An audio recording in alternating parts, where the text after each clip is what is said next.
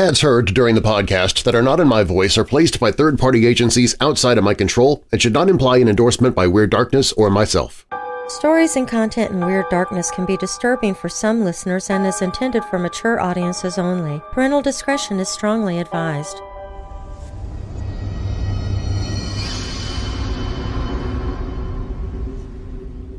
Something happened in Illinois in January 2000 that has never really been explained. A number of UFO sightings occurred in the southwestern part of the state and got a lot of attention. And it wasn't just in Illinois. The sightings gained national attention because there has likely been no other time that so many people witnessed something so unexplainable that it managed to perplex people all over America. The incident involved a number of reliable witnesses which consisted mostly of police officers from a number of small towns in the area, and led many to believe that something very strange was going on in the skies over Illinois. Even more convincing than mere sightings, the officers maintained radio contact through most of the event, which carefully tracked the progress of the UFO that passed over the area. Adding to this, Scott Air Force Base was only a mile or so out of the flight path of the anomalous craft, and this helped to focus media attention on the event for weeks after it actually occurred. Lebanon, this is a call from Highland PD in uh, reference to a truck driver who just stopped in. He said there was a flying object in the area of Lebanon. It was like a two-story house. It had white lights and red blinking lights, and it was last seen southwest over Lebanon. Could you check the area? Did they say the truck driver was DUI or anything? 10-4, I'm out. Uh, just a quick question. If I happen to find it, what am I supposed to do with it? If I see it, I'm not saying a word. Also, be advised the last thing that went over Lebanon, this was approximately five minutes ago, uh, was a military cargo plane. Looked like a C-5. Be advised, there's a very bright white light east of town. It looks like it's just east of Summerfield. And it keeps changing colors. I'll go over there and see if it looks like an aircraft. It doesn't look like an aircraft, though. It's not the moon. It's not a star. If you would, would you contact Scott Air Force Base and see if they have anything flying in this area, please? Whether it's a plane or not. It's heading westbound now. It should be really close to Scott now. As a matter of fact, if the Shiloh officer looks up, they can probably see it by now. I see something, but I don't know what the heck it is. It's, it's probably heading to Lambert. Um, I've got that object in sight also. Are you serious? It's huge. Does it look like a. What does it look like to you? Um, it's kind of V-shaped. It looks like it's possibly headed towards Lambert. 10-4. That's what Shiloh said when it was heading towards Fairview Heights.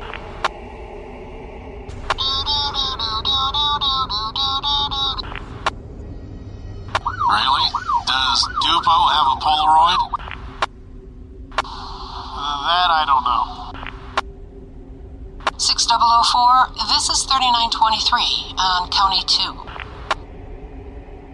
6004, go ahead. I'm not sure what you're seeing. It appears to be pretty high in the area. When I could first see it with binoculars, you could see it was different colors. Now it appears to be white. Is very large? It's hard to tell. It's pretty far off in the distance. This object was above me about 500 feet, and it was huge. This thing appears. It's probably 20 or 30,000. It's about where planes usually are. It's not low at all. Something very strange visited southwestern Illinois on January 5, 2000. But what it was remains a mystery to this day. I'm Darren Marlar, and this is Weird Darkness.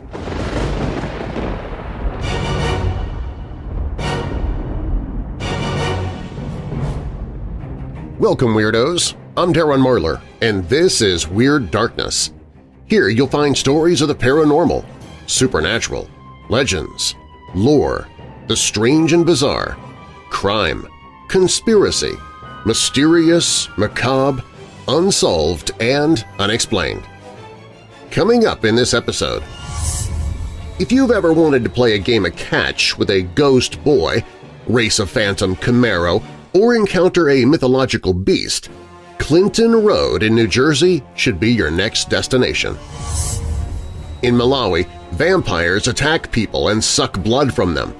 This is not lore or scary storytelling. It's happening now. Imagine a coin rolling past you in a long hallway, yet you are completely alone in the building.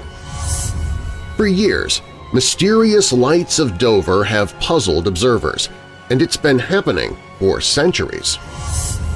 The strange sighting of a UFO in the year 2000 still has people looking to the skies of southwestern Illinois. But first, Frankenstein author Mary Shelley did you know that she had kept her dead husband's heart for 30 years? We begin with that story. If you're new here, welcome to the show. While you're listening, be sure to check out WeirdDarkness.com for merchandise, my newsletter, to enter contests, to connect with me on social media. Plus, you can visit the Hope in the Darkness page if you're struggling with depression or dark thoughts. You can find all of that and more at WeirdDarkness.com. Now, bolt your doors, lock your windows, turn off your lights, and come with me into the Weird Darkness.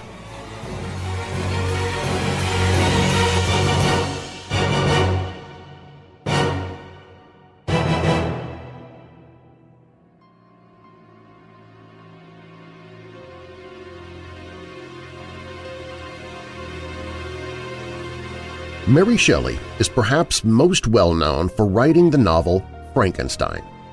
Aside from being the mother of all creating a monster stories, she was also the wife of well-known poet Percy Shelley. Percy was still married when he and Mary began their affair in 1814. Perhaps that was a bad omen for what was to come, as all of the following happened over the next four years. Percy and Mary ran off together. Mary returned, bearing Percy's child. That child was born prematurely and later died. Mary's half-sister killed herself. Percy's first wife killed herself. Mary and Percy got married. Mary created Frankenstein during a rained-out retreat with her husband and Lord Byron. Mary's second and third children with Percy died. A fourth child survived. Then, four years after all of the seemingly non-stop drama, Percy drowned in a sailboat accident in 1822. And so, one of the most famous literary couples of all time spent less than 10 years together, mostly broke, dealing with one horrible thing after another.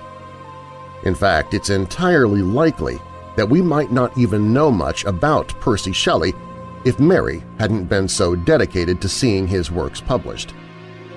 Mary was obviously devoted to her husband in both his life and his death, but assuring her husband's legacy wasn't enough for the queen of the grotesque.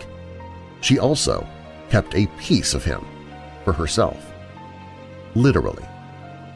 Now, it's not like Mary originally meant to keep the heart saved or anything like that. Percy was actually cremated.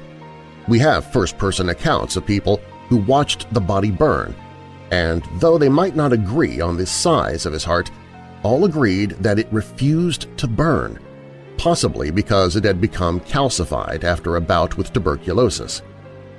After fighting to get it back from Percy's friend, Leigh Hunt, who claimed that he was keeping it because his love for his friend was greater than any other love, man or woman, Mary Shelley kept the heart for the rest of her life. Now it's up for debate as to whether she actually carried it around with her, although many claim that she did. Regardless, the heart was definitely found in her desk the year after she died, wrapped in one of the last poems Percy ever wrote, to John Keats called Adonais. It's a long piece, but Mick Jagger read a portion of it at the Brian Jones Memorial Concert on July 5, 1969, two days after the drummer for the Rolling Stones drowned in his own swimming pool, and that feels like as good a selection as any from the eulogy to share here. Peace, peace, he is not dead, he doth not sleep. He hath awakened from the dream of life. Tis we who lost in stormy visions keep, with phantoms and unprofitable strife. And in mad trance strike with our spirit's knife, in vulnerable nothings we decay. Like corpses in a charnel fear and grief convulse us and consume us day by day. And cold hopes swarm like worms within our living clay. The one remains, the many change and pass. Heaven's light forever shines, earth's shadows fly. Life, like a dome of many-colored glass, stains the white radiance of eternity until death tramples it to fragments. Die. If thou wouldst be with that which thou dost seek, follow where all is fled.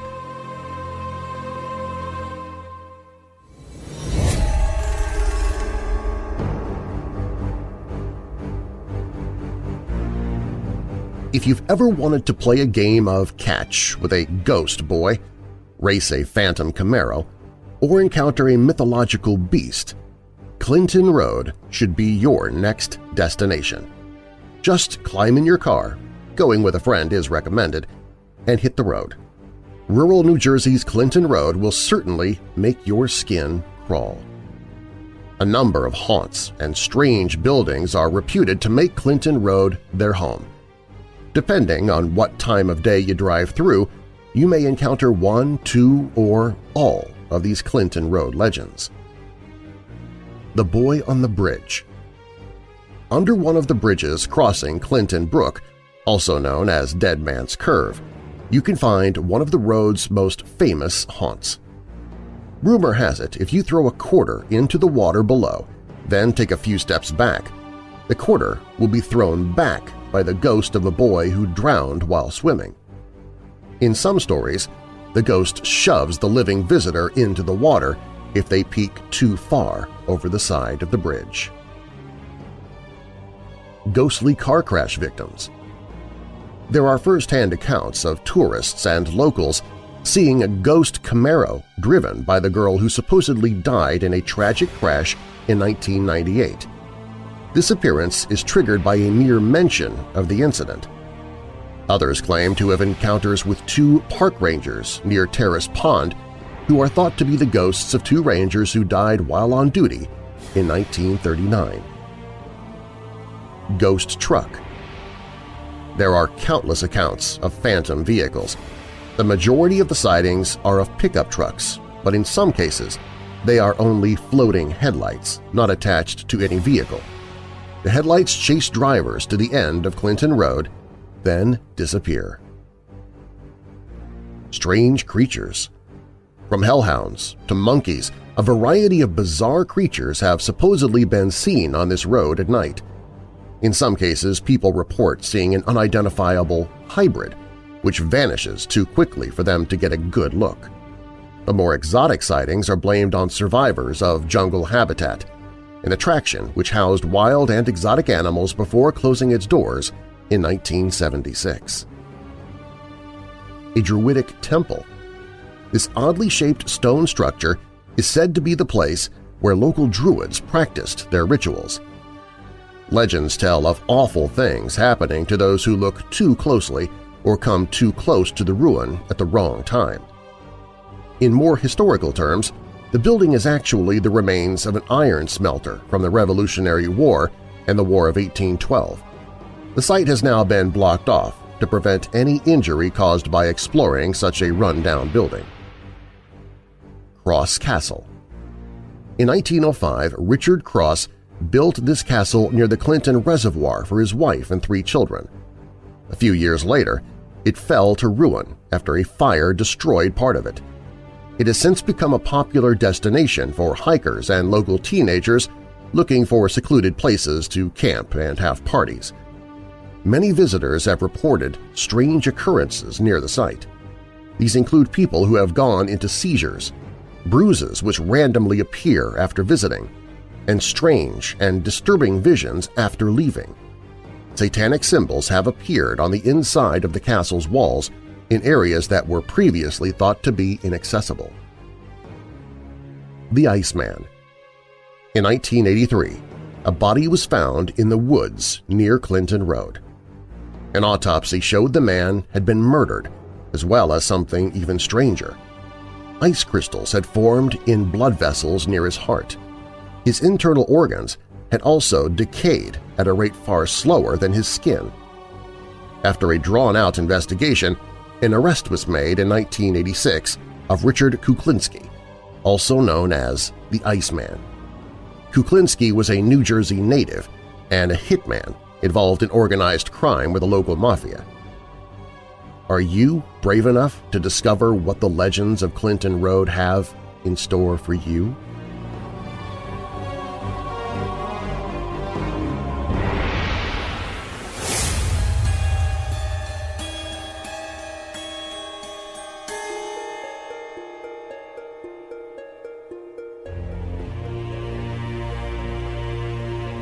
Residents of the African country of Malawi are in a state close to panic.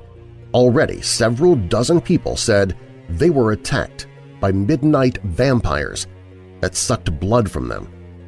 People are so frightened that seven Lancers have already been killed by vigilante detachments suspected of being vampiric. The threat has become so serious that UN workers and volunteers from the U.S. Peace Corps were withdrawn from Malawi. The hysteria about vampires in Malawi began in September, and it seems that by December it did not abate, although UN staff decided to return after the heat of September. Local residents claim that all of this is not hysteria, not rumors, but real facts. 40-year-old Jamia Balani tells that something alien entered her house and attacked her, and then began to suck her blood. Jamia lives in the village of Ngalanglovia, in the south of the country, and this village was in the center of vampire hysteria.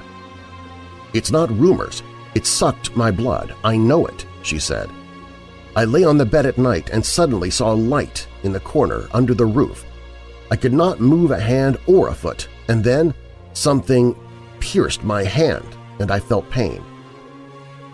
Jamia, who works selling a rag out of wild peas, says that before she lost consciousness from the loss of blood, she heard a sound, as if someone ran on the floor.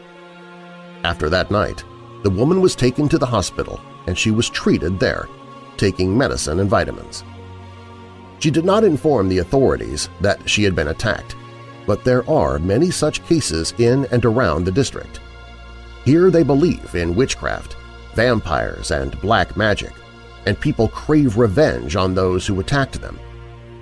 Another victim is the 27-year-old Florence Keelung. She says that she slept at night in her house next to her husband and suddenly saw the light as if a fire had been lit in the house. Then she heard the sound of the half-open door and then a pain in her finger as if a needle had been stuck into it. The entrepreneur Orlando Chapondra miraculously escaped death from a vigilante who saw in his house a sucker of blood. He says that he was lucky they did not manage to get to him. Orlando called the police, who drove people away from his house. It does not really matter to them whether you are a vampire or not. They envy the rich and attack anyone and call him a vampire if he has a car, Orlando says. The Malawi National Blood Transfusion Service the only institution that has a government permit to collect blood from donors for hospitals, says that rumors of vampires have also affected their work. This problem has greatly affected us, they say. It prevents us from doing our work and collecting blood from donors. For attacks and attempts of lynching in Malawi, 250 people were arrested and more than 40 in neighboring Mozambique, where vampires were rumored to have come from. The situation forced President of Malawi Peter Mutharika to intervene. There's no evidence of any attack by vampires, he says, but these false rumors are destabilizing the area. Those who spread such rumors run into our laws. Meanwhile, riots due to vampires have knocked down the country's tourism industry. There are going to be less and less Western tourists, and so the budget of the poor Malawi is short of a lot of superfluous money.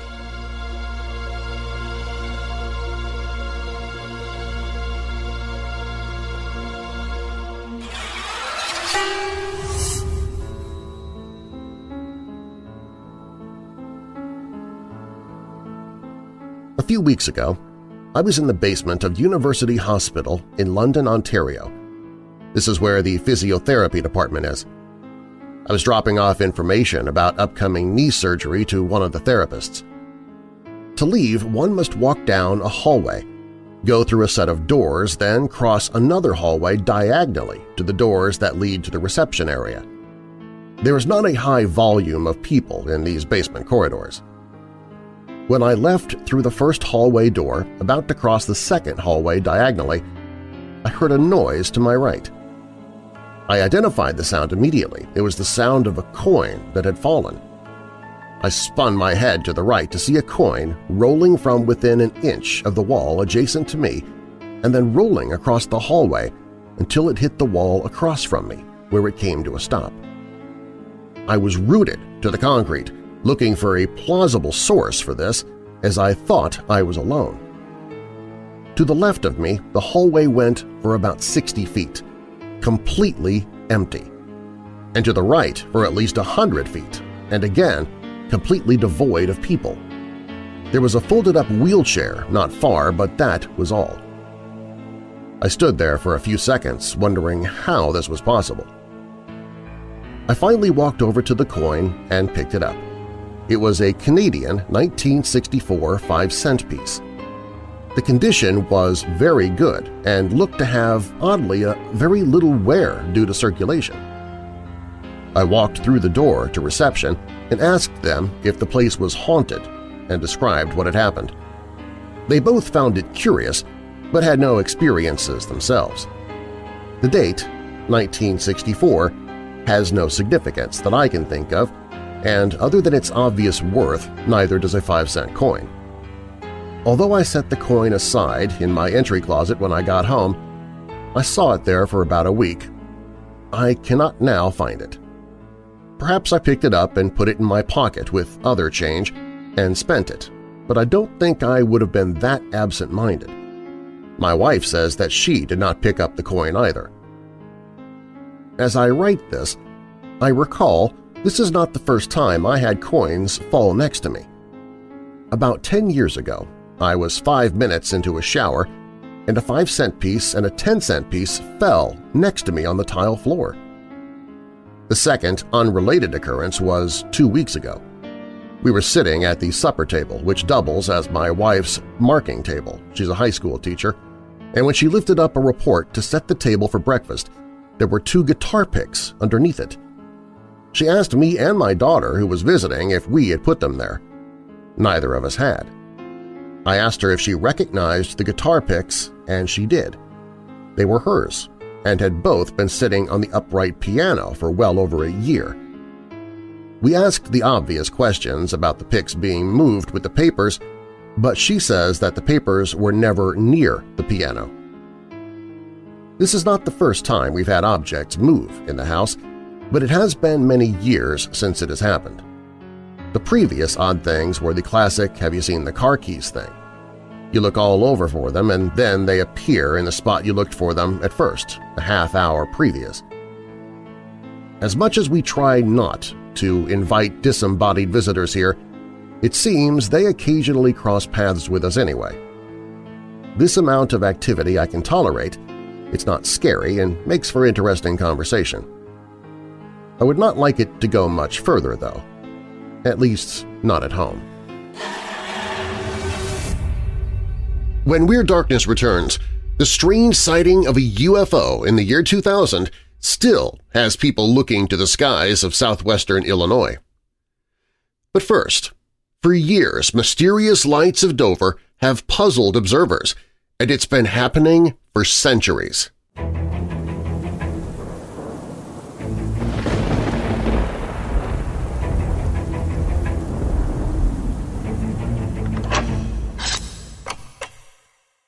If you or someone you know is struggling with depression, dark thoughts, or addiction, please visit the Hope in the Darkness page at WeirdDarkness.com. There, I've gathered numerous resources to find hope and solutions. For those suffering from thoughts of suicide or self-harm, there's the Suicide and Crisis Lifeline, as well as the Crisis Text Line. Both have trained counselors at all hours to help those in need, and the page even includes text numbers for those in the U.S., Canada, United Kingdom, and Ireland. Those struggling with depression can get help through the Seven Cups website and app, and there's information for anyone to read more about what depression truly is and how to identify it through our friends at ifred.org. There are resources for those who battle addictions, be it drugs, alcohol, or self-destructive behavior, along with help for those related to addicts. The page has links to help you find a therapist or counselor, to find help for those who have a family member with Alzheimer's or dementia, help for those in a crisis pregnancy, and more. These resources are always there when you or someone you love needs them on the Hope in the Darkness page at WeirdDarkness.com.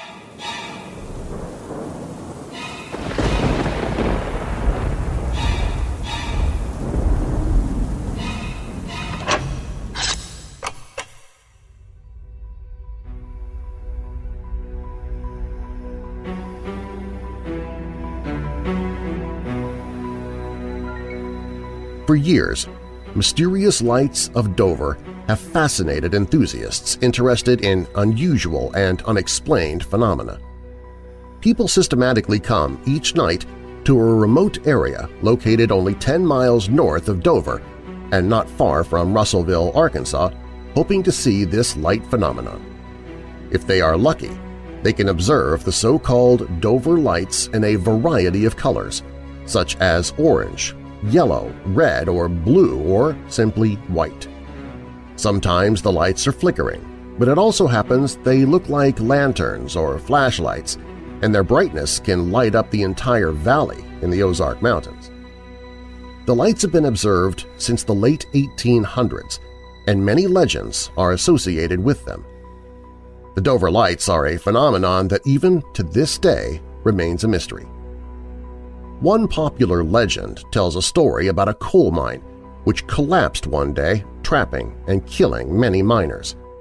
In this case, the lights symbolize lanterns, which belonged to miners who desperately tried to find their way back to their homes. Another one explains the lights as the spirits of ancient Native American warriors and tribal leaders, and yet another tells the story of an elderly and poor couple that had not money to pay for doctor's help. Instead, the doctor was offered a bag of homemade bullets in payment. Years later, after the old couple had both passed away, the doctor was cleaning up his office and accidentally found the long-forgotten bag of bullets. He realized the bullets were not made of lead, but of pure silver, and decided to give up his practice and devote his remaining years to a search for that lost silver mine. The light that occasionally appears hovering over the valley is believed to be his lantern that he needs to continue his search from beyond the grave. The Dover Lights phenomenon has never been solved despite it has appeared in thick forest of the area since the 1800s. Some believe the Dover Lights are nothing but a hoax, and perhaps they're right. Others suggest the phenomenon is the refraction of lights from distant points. However, many eyewitnesses to the Dover Lights definitely disagree because the area where lights appear is hardly accessible and the lights have been appearing for many years. Moreover, they cannot be electric lights because there has never been electricity in the area of observations. The lights may also be of supernatural origin, but in that case, it is doubtful that their mysterious origin will ever be solved. As we know, supernatural is something associated with forces we don't understand, and science cannot explain either.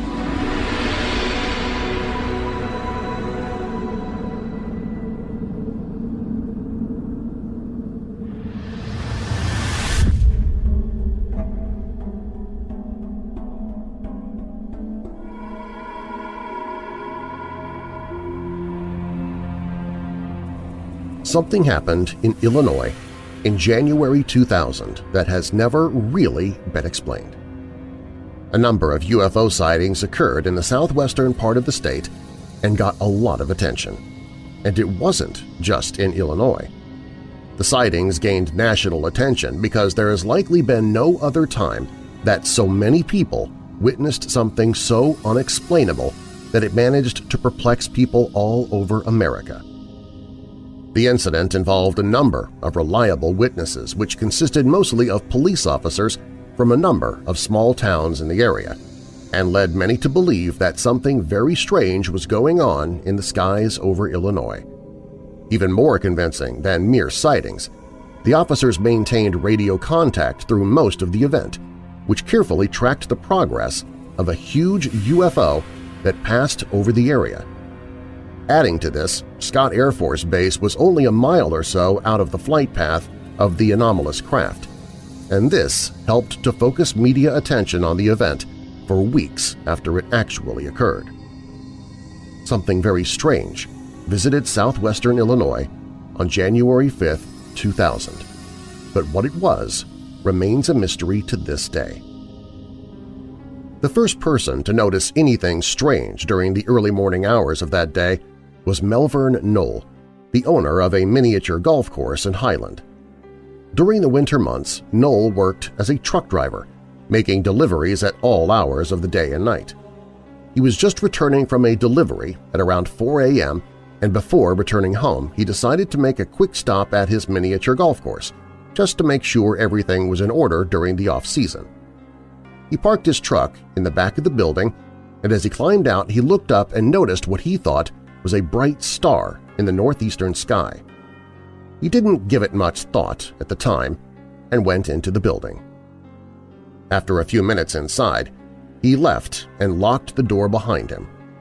As he walked back to the truck, he again noticed the bright light. This time, he stopped and looked at it more closely. It was then that he realized that the star was actually moving in his general direction. As he watched it, he began to realize that the light was a part of a much larger object. It looked like a giant rectangle in the sky that was roughly the size of a football field. It was very tall and had a set of windows that ran down the side. There were two floors with windows that emitted a very bright light, Noll saw, and as the object got closer, he also spotted a number of dim red lights on the bottom of it. The entire object was black or dark gray in color, and he later described the thing as a two-story house in the sky. Noll watched as it moved silently across the sky, and as it passed to the southwest, he also spotted more windows across the back of the object. As the ship passed over him, Noll realized that it was moving much slower than a conventional aircraft, and it certainly did not look like one. The entire sighting lasted almost five minutes. As the object vanished from sight, Noll promptly climbed into his truck and drove to the Highland police station. He was sure that no one would believe him, but hoped that whoever was on duty might be open-minded enough to at least contact a neighboring town's police department and see if the strange object in the sky could be verified. The dispatcher in Highland was skeptical of Noll's account, but because he did appear to be rational, agreed to put a call into the police in Lebanon and ask them to be on the lookout for anything unusual. Officer Ed Barton received the call in Lebanon at around 4.15 a.m. Not surprisingly, he was dubious of the report at first and asked the dispatcher if he was joking. When he was assured that it was a serious call, he drove to the north end of town past Horner Park and onto Widicus Road. He saw absolutely nothing out of the ordinary, but followed the road as it turned to the north and the east toward Illinois Route 4. A short distance along this road, Officer Barton looked up and saw two large, brilliant white lights in the sky. Curious, he now began to drive a little faster. When he arrived at Route 4, he turned south and headed back towards Lebanon, watching the lights from his driver's side window as he sped along.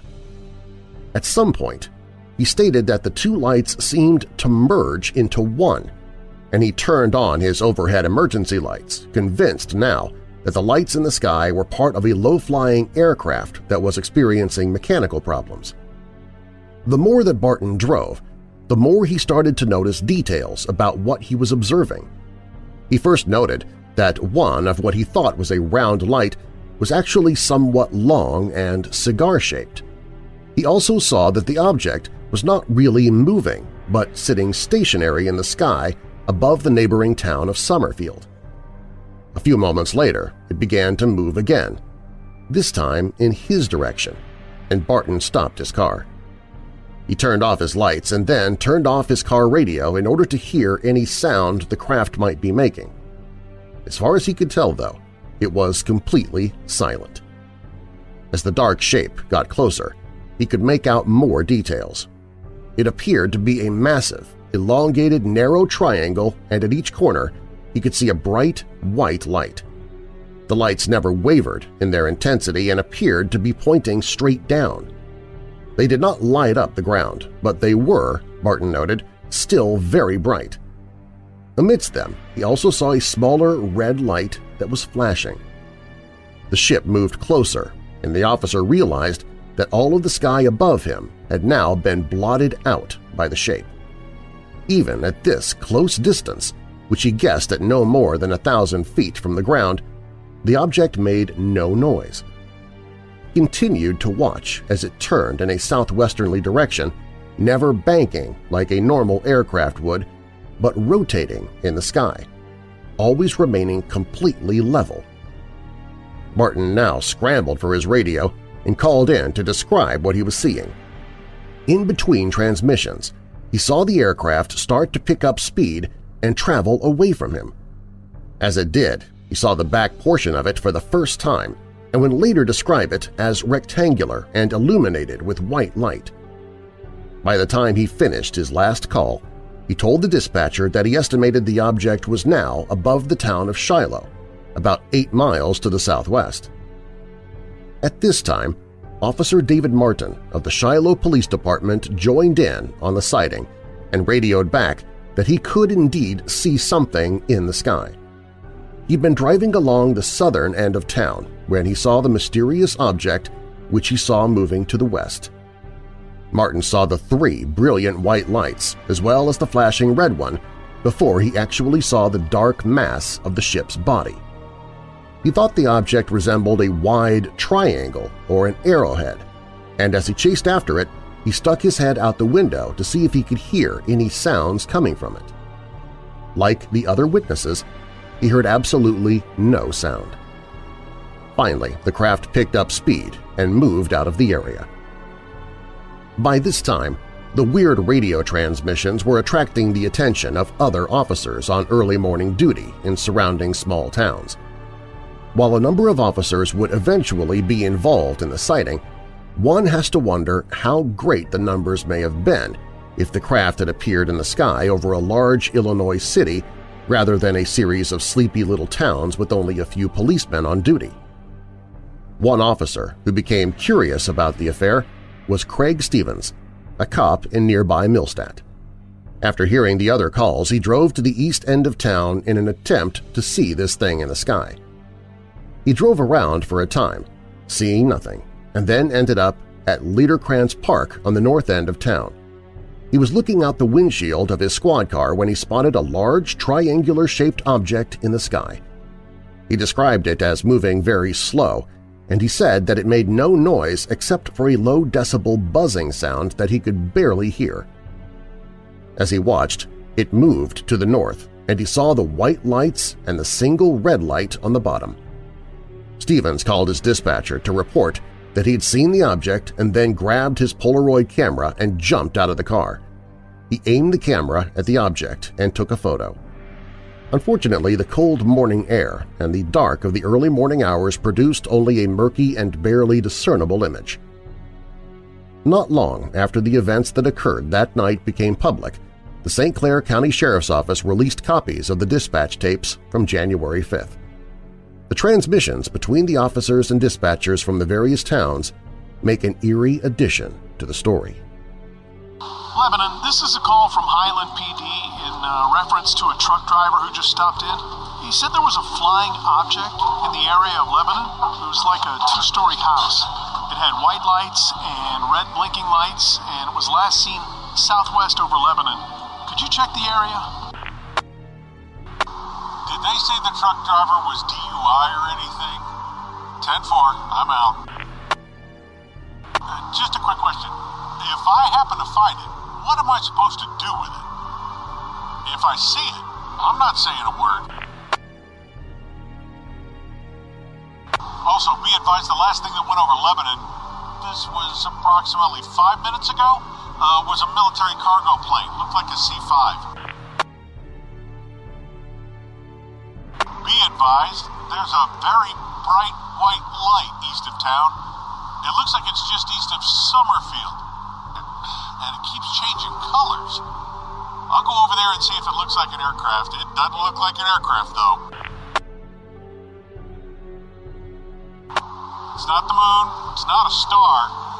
If you would, would you contact Scott Air Force Base and see if they have anything flying in this area, please? Whether it's a plane or not. It's heading westbound now. Should be really close to Scott now. As a matter of fact, if the Shiloh officer looks up, they can probably see it by now. I see something, but I don't know what the heck it is. It's, it's probably heading to Lambert. Um, I've got that object in sight also. Are you serious? It's huge. Does it look like a. What does it look like to you? Um, it's kind of V-shaped. It looks like it's possibly headed towards Lambert. 10 4. That's what Shiloh said when it was heading towards Fairview Heights.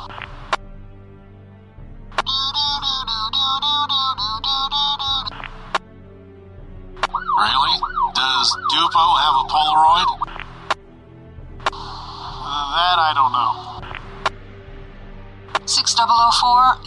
3923 on County 2. 6004, go ahead. I'm not sure what you're seeing. It appears to be pretty high in the area. When I could first see it with binoculars, you could see it was different colors. Now it appears to be white. Is it very large? It's hard to tell. It's pretty far off in the distance. This object was above me about 500 feet, and it was huge. This thing appears. It's probably 20 or 30,000. It's about where planes usually are. It's not low at all. The Dupo officer, mentioned in the transmission reports, was the last officer officially to report seeing the object that morning. After hearing Officer Stevens' radio traffic, he decided to have a look for himself as to whether or not a huge craft was passing over the area. About five minutes after Stevens' sighting, the Dupo officer also saw the array of lights over his town. However, he stated that the lights were at a fairly high altitude and were heading to the north and northeast. In fact, they were now so high that he likely would not have noticed them if not for the radio calls that he'd been listening to. He watched it through binoculars, but because of the distance, he really couldn't make out anything other than the red and white lights. He could see nothing of its shape or size. After that, the object disappeared from the sky but landed firmly into the mysterious history of Illinois. What was this bizarre ship? Was it really a UFO that would have passed over Illinois without incident if not for the watchful eyes of a miniature golf course owner and a few small-town police officers? If it was, one has to wonder how it could have passed within a mile of Scott Air Force Base without causing some grave concerns on the part of the military. They would later state that they knew nothing of the large ship, leading many to believe that perhaps their denials only hid the fact that this was some sort of test plane and not a mysterious vessel at all. But those who might suggest that the craft came from Scott Air Base can forget about that. My brother was in the Air Force for many years and spent a few of them stationed at Scott. He told me flat out that not only are there no test planes kept at Scott, but there would be no place to land anything like what was described that would be away from the public eye. UFO? Secret test plane? Or something else altogether? No one knows. But one thing is certain. Those officers certainly saw something in the Illinois sky that night. For now, though, what it may have been remains unexplained.